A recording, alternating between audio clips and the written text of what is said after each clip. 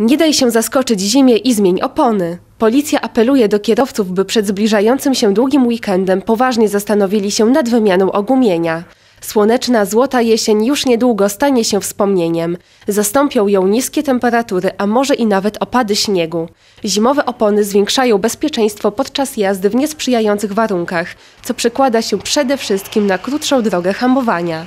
Dodatkowo, jeśli zdecydujemy się dostosować nasze auto do zimowej aury na przełomie października i listopada, unikniemy oczekiwania w kolejkach.